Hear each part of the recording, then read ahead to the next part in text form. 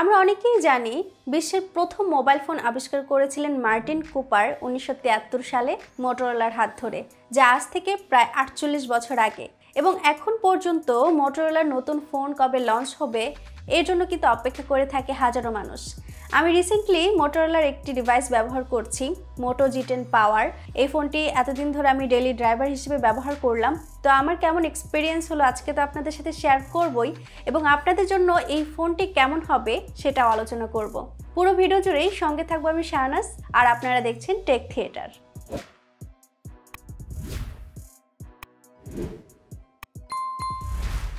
ভিডিওর শুরুতে আপনাদেরকে প্রাইসটা একটু ক্লিয়ার করে দেই। এই ফোনটির রেগুলার প্রাইস হচ্ছে পনেরো হাজার পাঁচশো নিরানব্বই টাকা। কিন্তু সেলেক্সটা ডট কম ডট বিডিতে মাঝে মাঝে ভালো ভালো অফার থাকে এবং ডিসকাউন্ট থাকে। তাদের ওয়েবসাইটে ভিজিট করলেই দেখতে পাবেন। এছাড়া আইপিডিসির মাধ্যমে ক্রেডিট কার্ড না থাকলেও ফোনটি আপনারা নগদ কিস্তিতে কিনতে পারবেন। তো দেখা যাবে এই ফোনটির অফার ডিসকাউন্ট সব কিছু মিলিয়ে প্রাইস আরও কম পড়বে। আমি আপনাদের সুবিধার জন্য সেলেক্সটার ওয়েবসাইটের লিঙ্ক ভিডিও ডেসক্রিপশন বক্সে অ্যাড করে দিয়েছি। তো এই ফোনটির হাইলাইটেড ফিচারগুলোর মধ্যে কী কী রয়েছে? প্রথমত এর সিক্স পয়েন্ট ফাইভ ইঞ্চির HD plus display forty eight মেগাপিক্সেলের quad camera set up eight মেগাপিক্সেলের সেলফি ক্যামেরা চার জিবি র্যাম চৌষট্টি জিবি রম ছয় হাজার এমএইচের একটি ব্যাটারি টোয়েন্টি ওয়াটের ফাস্ট চার্জার বক্সে আপনারা পেয়ে যাবেন টোয়েন্টি ওয়াটের charger USB type C charging cable SIM ejector pin user guide এবং ডিভাইসটি প্রথমেই বলব ফোনটির ডিজাইন এবং বিল্ড কোয়ালিটি আমার কাছে কেমন লেগেছে। ফোনটি আমার কাছে একটু ভারী লেগেছে, যেহেতু এতে ছয় হাজার এমএইচের একটি ম্যাসিভ ব্যাটারি দেওয়া হয়েছে। তবে গ্রিপ করতে কিন্তু কোনো সমস্যা হয়নি। আমি খুব ভালো মতো এক হাতে ইউজ করতে পেরেছি এবং ফোনটির ব্যাকপার্টে একটা কার্ভ টেক্সচার দেওয়া হয়েছে, যা দেখতে এবং ফোনটি হাতে নিয়ে ধরতে ভিন্ন রকম একটা ফিল দেয়। আমার কাছে ভালো লেগেছে, কারণ ডিজাইনটা একটু ডিফারেন্ট এবং আমি যখন হাতে নিয়ে ব্যবহার করেছি, তো আমার কাছে মনে হয়েছে এই বাজেটে আমরা কিন্তু সাধারণত এইরকম ডিজাইনের ফোন পাইনি এর আগে। ব্যাকপার্টের ক্যামেরা মডিউলে রয়েছে চারটি ক্যামেরা এবং একটি এলইডি ফ্ল্যাশ লাইট আছে ব্যাক সাইডে ফিঙ্গারপ্রিন্ট স্ক্যানার স্ক্যানারের মধ্যে মোটরোলার লোগোটি দেওয়া রয়েছে, দেখতে ভালো লাগে এবং স্ক্যানারের পজিশন আমার হাত অনুযায়ী একদম ঠিকঠাক রয়েছে। এবং ফোনটি আপনারা পেয়ে যাবেন দুইটি কালার অপশনে একটি হচ্ছে আমার হাতে থাকা অরোরা গ্রে কালার এবং আরেকটি হলো ব্রিজ ব্লু দুটি কালারই দেখতে বেশ প্রিমিয়াম পোর্টস অ্যান্ড বাটনসের মধ্যে ফোনটির ডান পাশে দেওয়া হয়েছে ভলিউম রকার এবং এখানে একটা টেক্সচার দেওয়া রয়েছে, যার জন্য ধরতে বেশ ভালো লাগে। তার উপরেই রয়েছে ভলিউম রকার তার ঠিক উপরেই আছে একটি ডেডিকেটেড গুগল অ্যাসিস্ট্যান্ট কি এই বাটনগুলো আমার কাছে বেশ ক্লিকই মনে হয়েছে। উপরের দিকে রয়েছে three point five M M audio jack বাম পাশে রয়েছে একটি হাইব্রিড সিম কার্ড স্লট এখানে আপনারা দুইটি সিম কার্ড অথবা একটি সিম কার্ড এবং একটি মেমোরি কার্ড ব্যবহার করতে পারবেন। নিচের দিকে রয়েছে একটি microphone USB type C charging port এবং স্পিকার স্পিকারের সাউন্ড কোয়ালিটি আমার কাছে ভালো মনে হয়েছে। এছাড়া এই ফোনটির ইয়ারপিসের কোয়ালিটিও আমার কাছে ভালো লেগেছে এবং নেটওয়ার্ক জনিত কোনো সমস্যাও আমি পাইনি।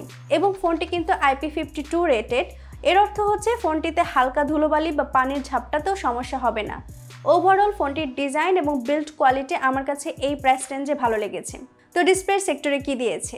মোটো জি টেন পাওয়ারে দেওয়া হয়েছে সিক্স পয়েন্ট ফাইভ ইঞ্চির এইচডি প্লাস রেজুলেশনের আইপিএস এলসিডি প্যানেলের display twenty is to nine হচ্ছে আসপেক্ট রেশিও ডিসপ্লেতে রয়েছে ওয়াটার ড্রপ নচ ডিসপ্লের কালার কন্ট্রাস্ট খুবই ভালো লেগেছে প্রাইস অনুযায়ী। টাচ রেসপন্স খুব ভালো ছিল, কোনো ডিলে আমি লক্ষ্য করিনি।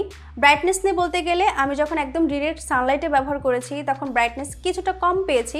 তবে একদম যখন আমি ইনডোরে শ্যাডো এরিয়াতে ব্যবহার করেছি, তখন ব্রাইটনেস খুবই ভালো থাকে।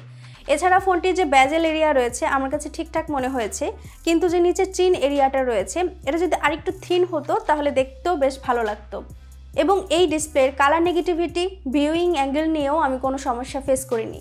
মোটোরোলা ফোনের একটা ভালো দিক হচ্ছে এর স্টক লাইক ইউআই ফোনটিতে out of the box android eleven থাকছে এবং অলমোস্ট স্টক লাইক ইউআই হওয়ার কারণে খুবই ক্লিন এবং স্টেবল একটি ইউআই এটি। সো যারা স্টক লাইক ইউআই পছন্দ করেন, তাদের জন্য এটা একটা ভালো দিক। কোনো ব্লোটায়ার নেই এতে। শুধুমাত্র মোটোরোলার একটি অ্যাপ রয়েছে। এটা আপনারা নিজেরাই অনেক এনজয় করবেন। বাই দ্য ওয়ে এই ফোনটির হার্ডওয়্যার সেগমেন্টে দেওয়া হয়েছে কোয়ালকমের স্ন্যাপড্রাগন ফোর সিক্সটি এসওসি এইরকম বাজেটে এই চিপসেট ঠিকই আছে বলা যায়। এই চিপসেটটি ডে টু ডে টাস্কে বেশ ভালোভাবেই সাপোর্ট দিচ্ছিল। অনেক বেশি মাল্টিটাস্কিং না করলে কোনো ল্যাগের দেখা পাবেন না। আমার টেস্টে আমি পাইনি। আর গেমিংয়ের কথা বললে পাবজি মোবাইল মোটামুটি ভালো খেলতে পারবেন। ফ্রি ফায়ারে আবার তুলনামূলক আমি বেটার পারফরমেন্স পেয়েছি। আমার মতে ফ্রি ফায়ার খেলতে চাইলে এই ডিভাইসটি ঠিক আছে। এর বাইরে অ্যাসফল্ট নাইনও খেলে দেখেছি। পারফরমেন্স ভালো ছিল। ডিটেলিং শার্পনেস গ্রাফিক্স ঠিকঠাক পেয়েছি। বাজেট অনুযায়ী আমার কাছে ভালো লেগেছে। তবে অবশ্যই হার্ডকোর গেমার যদি হয়ে থাকেন, তাহলে এই ডিভাইসটা আপনার জন্য সুইটেবল হবে না।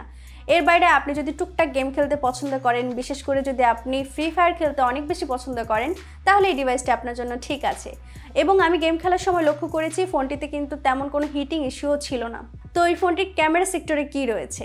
ফোনটি রিয়ার পার্টে দেওয়া হচ্ছে কোয়াড ক্যামেরা সেট প্রাইমারি ক্যামেরাটি হচ্ছে আটচল্লিশ মেগাপিক্সেলের আর এছাড়া রয়েছে এইট মেগাপিক্সেলের একটি আলট্রা ওয়াইড অ্যাঙ্গেল লেন্স এবং দুই মেগাপিক্সেলের ম্যাক্রো লেন্স দুই মেগাপিক্সেলের ডেপথ সেন্সর আর ফ্রন্টে দেওয়া হয়েছে আট মেগাপিক্সেলের একটি সেলফি ক্যামেরা প্রাইমারি ক্যামেরাতে তোলা ছবিগুলো ডেলাইটে যদি পর্যাপ্ত পরিমাণে আলো পায়, তাহলে ভালো ডিটেলস ধরে রাখতে পারে। ডাইনামিক রেঞ্জ মোটামুটি ভালো এসেছে। এবং সেই সাথে ডেলাইটে কালার টোন একটু বুস্ট আপ করে, দেখতে ভালোই লাগে। ডিটেলস এবং শার্পনেস মোটামুটি ভালোই ছিল। পোর্ট্রেটের ক্ষেত্রে এজ ডিটেকশনও ভালো ছিল। লো লাইটের ছবি আমার কাছে ভালো লেগেছে নয়েজ খুব কম। সেলফিগুলো ভালো লেগেছে, যদিও একটু স্মুথ করে দেয়। ফোনটিতে আপনারা ভিডিও ধারণ করতে পারবেন ব্যাক ক্যামেরাতে সর্বোচ্চ থাউজেন্ড এটিপি সিক্সটি এফপিএস পর্যন্ত।